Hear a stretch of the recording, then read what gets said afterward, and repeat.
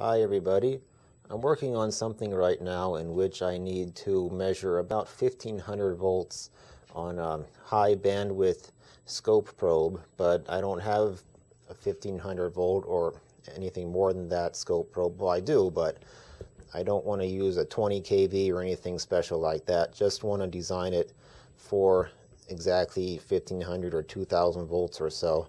So I figured I would modify an existing probe, in this case the P6122, really old school 1980s Tektronix probe here. It's actually labeled on the side of the probe itself, it says maximum 500 volts peak. So I figured I would quadruple that rating by adding some extra resistors uh, and a couple picofarads or so on the tip of it and then add some extra capacitance down here in the compensation box and maybe tweak a few things. So that's my plan. And of course, it helps know exactly what's inside. So I took apart the compensation box and the and separated the cable. Here you can see I got the cable hooked up to an ohm meter and we're looking at 190 ohms. It's not, you know, a clear coax cable with a minimum resistance wire in there. It's actually designed to have a certain DC resistance. And, um, and I also measured about 42 picofarads uh, between the center conductor and the shield of that coax. But basically right here is the, uh, the circuit board inside the compensation box. This is the, the probe end, and then this end goes into the scope. And so you got a couple of pots here. Those were set by the factory and the user serviceable um, variable capacitor is this green thing right here. Got the inductor, little blue capacitor there, and another resistor. And those are all clearly depicted here in the schematic in the probe manual. Here's the inductor, a couple of pots, and capacitor, resistor, capacitor. That goes to scope. And then this end of it here, this uh, 9 megohm resistor and 10.4 pico 10.4 picofarad cap. That's this little thing right here, this tiny little ceramic surface mount style component. Let me zoom in. So right there is just the, the resistor on top, just a carbon film strip on top, but on the bottom, that's where we get all the fun stuff going. That's where the uh, the capacitance is and the capacitance tuning. This camera doesn't have very good macro, so I gotta use some alternate methods here. All right, there we go. The, um, the left side, that goes to the cable towards the scope, and the tip of the probe is hooked up to the right side. And you can see there's all these little pads, metal, metal pads on the top of it. And the three on the left, the three largest pads, have been uh, laser etched out. They're, they used to be connected to the, the main strip on the bottom, and they've been laser etched away so that they're not connected anymore. Whereas the other pads, looks like five smallest pads on the right, those are still connected. And um, that's how they would have fine-tuned this capacitor to be exactly 10.4 10.4 picofarads or whatever other capacitance that they need. And it got me thinking, you know, this is such a very precision device. And uh, I was just thinking of putting a 20 or 30 megohm resistor on the end of it, on the end of the existing probe. And But that doesn't look the case anymore because I have to take capacitance into consideration too. And it has to be very finely tuned capacitor. It's got to be exact. So since I have a whole box full of these probes, I might just take apart a bunch of them and stack all these all these RC combinations, all these little chips together, put four of them in series, and then make some minor adjustments, put some extra capacitance on the compensation circuit, and we'll see how that goes. So here's my shelf of scope probes and accessories. You can see I got a whole bunch, and in fact, let me come back to here and we got two boxes full of these P61 22s and 21s 10x probes. They've been sitting around for many years, or I should say decades, and looks like some of them are finally going to get put to a good use. And the reason I've got so many scope probes here in the first place is because whenever you buy new scopes or new any kind of equipment, they always come with, or they, they usually, they should come with the probes. Um, if the probes are not too expensive, but um, you know, just ordinary scope probes, they always come with new scopes, but when the scopes are old and decrepit and you get rid of them, we all there's always the uh, the probes that get that get left behind. Always the same thing with power cords and USB cables. It's just easier to to keep the uh, keep all the wires and accessories than it is to keep the equipment. So I'm just going to take off the cap. The ground lead pulls out, and the, uh, the coax easily comes out too. So what I'm going to do is try to pull the, the pin off of here. Look at that, the whole thing comes out. So this one's a little different construction. You can see it's blue. There's the resistive film and the capacitor portion has a blue coating on top of it. But that's no big deal. And of course that whole thing is inside a a brass pipe, brass tube going it ends right about here. From here to there is the, uh, the brass shield. So I'll get a few more of them and then I can very easily stack one on top of the other just like that. And, um, and all those are going to fit inside a pen, plastic pen tube, a Bic pen, and then I can wrap some shield around this thing and keep that grounded and I should hopefully have my, myself a working 2 kV high bandwidth scope probe. Well here's a little surprise. I got my three 9 megohm resistors inside the plastic tubes here but this other one I took out of a probe, same probe, same model number but probably manufactured in, at an earlier time.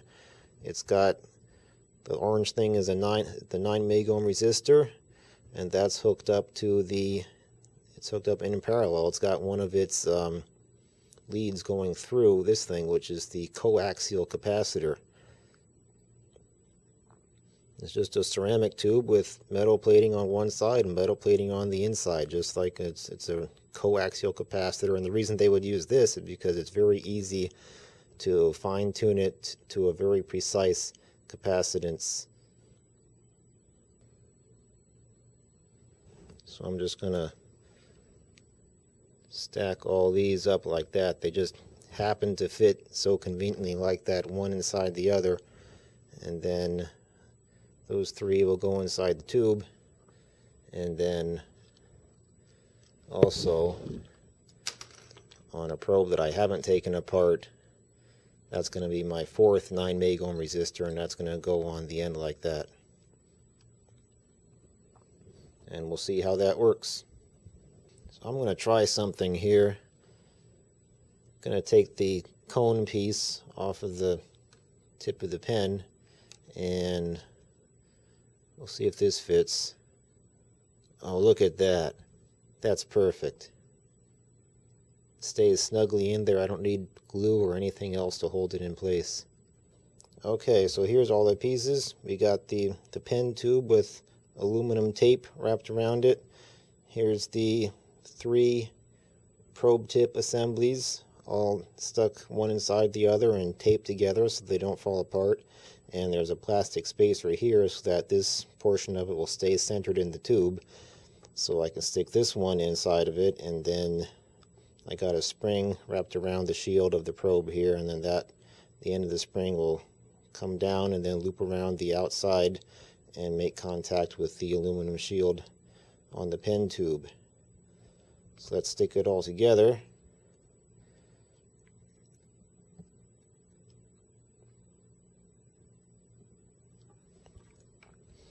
Oops, pressed too hard and actually came out the tip here, so let me put that back in.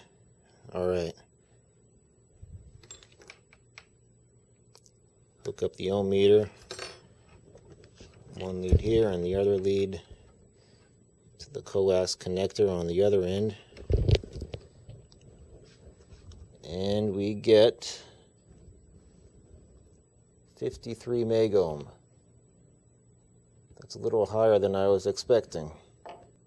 Okay, it's all good now. Got 36 meg ohm here. It's exactly what I was expecting because now I just have it hooked up to, I got the lead going directly into the probe itself here. So basically got four 9 meg ohm resistors and nothing else other than the uh, capacitances that are in parallel with each one. Here's the test setup. Got a function generator here with 1 kilohertz and 20 volt peak to peak square wave. And there's a scope right there. Here's a, a newer probe that I'm comparing it to on channel 1, the yellow trace, and channel 2 is going to be the blue one.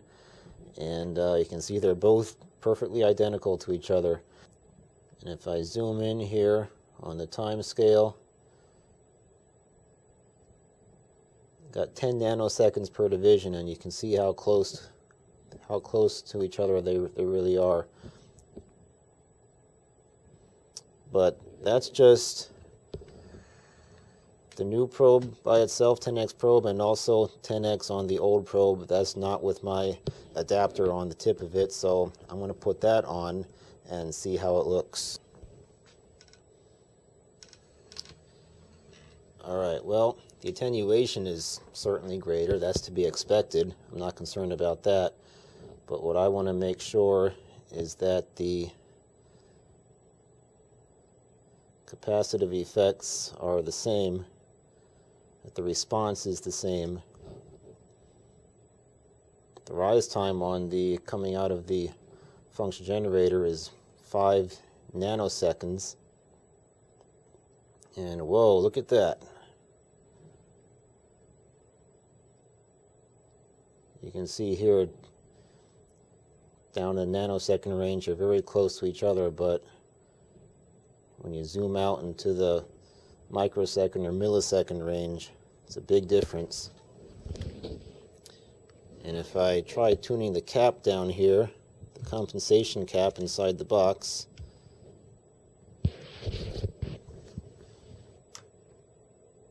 let's see what we get.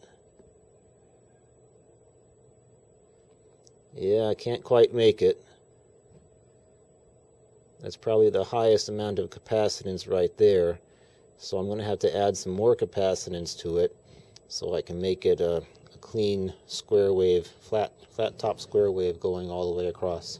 Well, apparently I was wrong. I got the LCR meter going across the variable capacitor and you can see if I turn it either way, turn it the other way, the capacitance always goes up. So I had it not at the maximum, but rather at the minimum.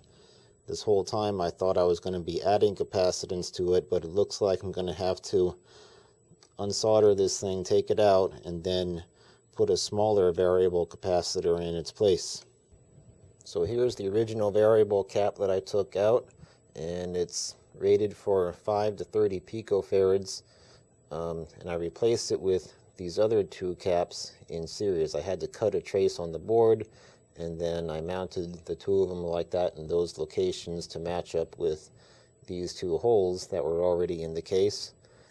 And each one of these is rated for 4 to 36 picofarads, so the two of them in series I can get anywhere from 2 to 18 picofarad. And I also put in a 12 megohm resistor right here from the scope out from the probe output to ground and that's just there to go in parallel with the 1 megohm resistance of the scope input uh, for 920 kiloohm and then that's in the voltage divider with the 37 megohm or so and all that works together to a voltage division of 1 40th so if I see 10 volts on the scope, then it's actually going to be 400 volts that I'm measuring. So here's the results. It's looking a lot better. You can see that the, the, the uh, DC linearity is looking pretty good. Here this is on the 10X probe, this is 5 volts per division, so 0, 5, 10 volts.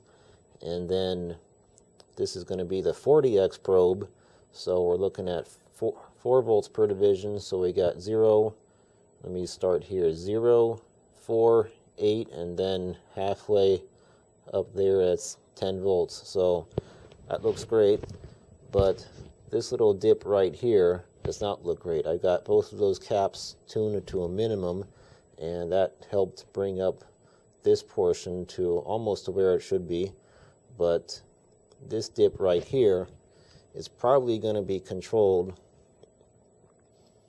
by this RC combination right here. So I might have to do something to that in order to make it a little straighter on the square wave. I took out that tiny little 1 picofarad capacitor and put the probe on the scope and nothing really changed. There was still this dip right here. So then I replaced that capacitor with one of the variable ones that vary from 4 to 36 picofarad and as I turn it, as I increase the capacitance, you can see there's a dip, not really, you can see it, it's not really centered around here, but more or less around there, closer to the, to the leading edge. So that dip may have been primarily caused by stray capacitance inside the probe inside the compensation box. So I'm gonna have to think of some other way to fix this